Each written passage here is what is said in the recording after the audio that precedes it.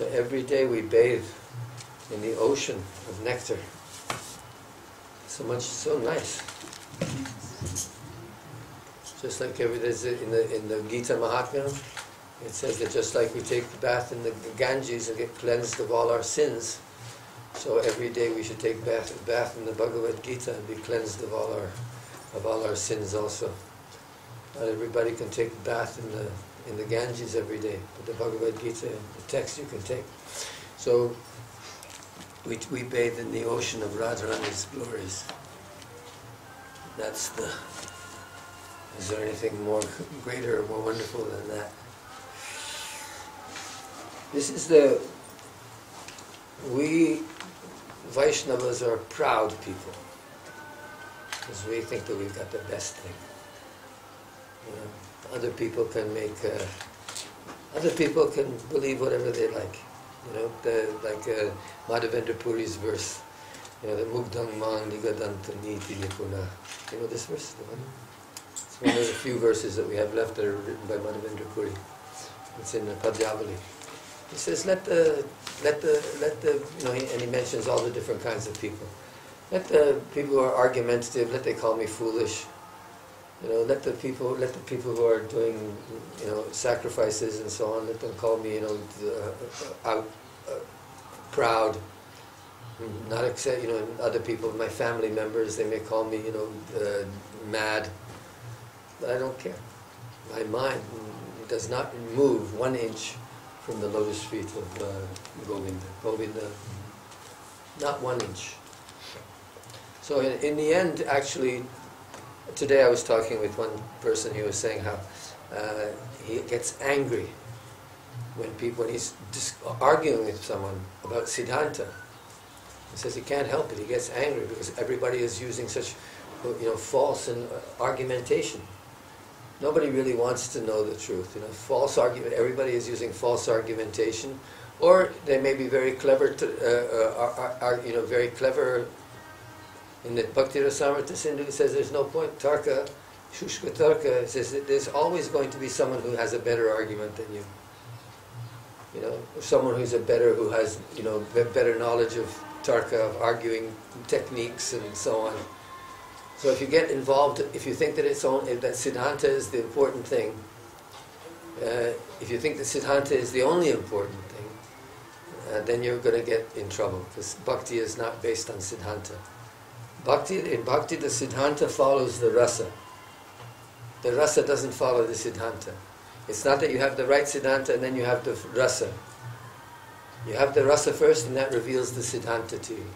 And then when you have the Siddhanta, then, then that, that, that, what that does, it, it, it nourishes your experience of the rasa. But in actual fact, just like all this now we're reading about Vaibhav. So the subject is, the subject is, as we've been saying, is Radha's Aishwarya.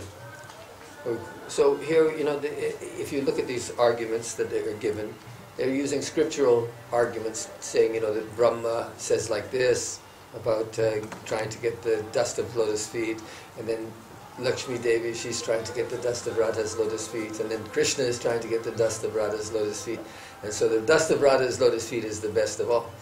eh? But actually, this is not Siddhanta. This is this is this is uh, just this is rasa. Because what we're doing is we we're entering into a world where all these where all these characters exist, and then we're using those characters to, to, to prove to us that Radharani is the best. But in actual fact, what we're saying, if you can you can you can take it another way, you can say that love is the best thing, and it's a way of saying that love is the best thing, and that, and that you know if you're going to say love is the best thing, then you have to approach it a bit differently. So we as modern people, we as modern people, we, we enjoy this, but at the same time, if we're going to enter into logical discussion, then we have to be able to show how, how the, the goal of spiritual life is prem. That prem is the prayojan, that the ultimate goal of spiritual life is, is prem, is love. And that our, and it not just not just some uh, you know abstract love, but genuine emotional experience of love. That this is actually where God is manifest and where we can experience God. uh, in, in the most intense fashion. So, you know, the so our argumentation might, in, in the modern world, has to take a different. Like Prabhupada used to say, uh, that you're putting old wine into new bottles. Right? You heard this expression before. You take old wine and you put it into new bottles. So what does that mean for us? You know, in the modern world, for instance, you can't come and say, well, it says in the Bhagavatam. Who cares? In the modern world, nobody cares what the Bhagavatam says. First, you have to somehow or another establish the authority of the Bhagavatam. So some people might be susceptible, and you might say to someone, uh, the Bhagavatam is a great scripture. We accept it as our authority, and uh, you know many other people have accepted it as an authority. And uh, you know, Jiva Goswami says this is why the Bhagavatam accept the Bhagavatam. Because why does he accept the Bhagavatam? Well, he's saying he's taking the argument from the Garuda Purana and from the other Puranas that say that the Mahab- that the Bhagavatam is the best of the Puranas and is the greatest authority.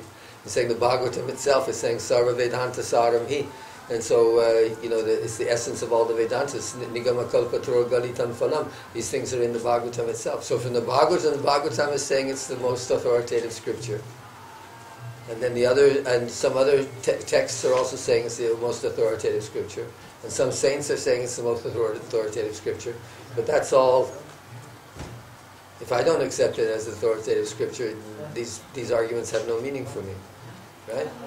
This is why authority also has no fundamental basis in, uh, in argumentation. In some respects, it does. What, that is why a Vaishnava is the most important thing. Because what happens when you meet a Vaishnava, when you meet an advanced Vaishnava, when you meet a Rasika Vaishnava, a Bhavuk Vaishnava, then it's not simply the, it's, it, then he becomes an authority and his character becomes the authority. So the character of the person is the authority. It's not the, it, it, it's nothing else. And, in, and, and of course the main authority is experience. The main authority is experience. There's no higher authority than your own experience. I can say anything, but if it doesn't, if it doesn't have any relationship to your experience, you're going to just say, well, it doesn't mean anything to me, right?